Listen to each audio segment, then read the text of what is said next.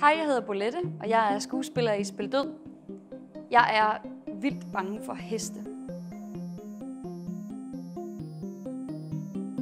Hej, jeg hedder Kasper. Jeg er performer i Spil Død.